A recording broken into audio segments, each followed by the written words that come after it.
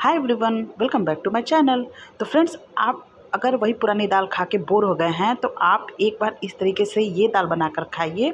आपके मुँह का जायका बढ़ जाएगा और आपको खाने में बहुत ही स्वादिष्ट लगेगा। तो मैं मैं ले रही हूँ यहाँ मसूर की दाल और आज हम बनाने वाले हैं मसूर की दाल। अगर आप अरहर की दाल या तुअर की दाल खाकर बोर हो गए हैं तो आप एक बार इस तरीके से इस दाल को बनाइएगा। बहुत ही टेस्टी लगती है और इसके बहुत सारे हेल्थ बेनिफिट भी होते हैं। तो आइए देखते हैं इसे कैसे बनाते हैं। सबसे पहले मसूर को हमने अच्छे से वॉश कर लिया है दो तीन पानी से, फिर उसे हमने पंद्रह से बीस मिनट के लिए सोख करने रख दिया है। अगर फ्रेंड्स आपके पास टाइम नहीं है तो आप इसे गुनगुने पानी में भी पाँच मिनट से या दस मिनट के लिए सोख करने के लिए रख सकते हैं। सोख करना बहुत ज़रूरी है। इससे क्या होता है कि अगर आप दाल को सोख करके बनाते हैं तो आपको एसिडिटी नहीं होती है तो आप इस बात का ध्यान रखिएगा।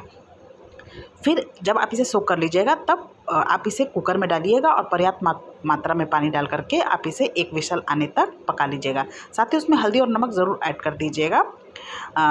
फिर उसके बाद आप क्या करिएगा, एक पैन गर्म करेंगे, फिर उसमें डालेंगे थोड़ा सा देसी घी। मैंने उसमें साथ ही थोड़ा सा सरसों का तेल भी ऐड कर लिया है, आप इसे बटर में भी बनाएँगे तो भी बहुत ही टेस्टी लगेगा। फिर मैंने जब तेल गर्म हो गया तो उसमें जीरा डाल दिया है, जब वो जीरा अच्छे से चटक जाए तब उसमें डालेंगे अदरक, लहसुन, हरी मिर्च और प्याज को बारीक चॉप करके और इसको अच्छे से कलर चेंज होने तक पका लेंगे।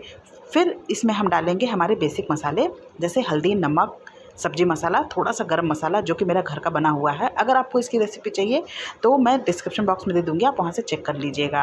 वैसे तो मेरे चैनल पर इसकी फुल वीडियो बनी हुई है, आप चाहें तो वहाँ से भी देख सकते हैं।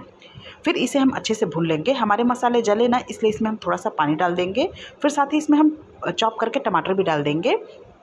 और इसे ढक करके मध्यम आँच पे हम इसे अच्छे से भून लेंगे जब तक कि इन सारे, ये जो मसाले हैं वो हमारे अच्छे से पक ना जाए और तेल ना छोड़ दें।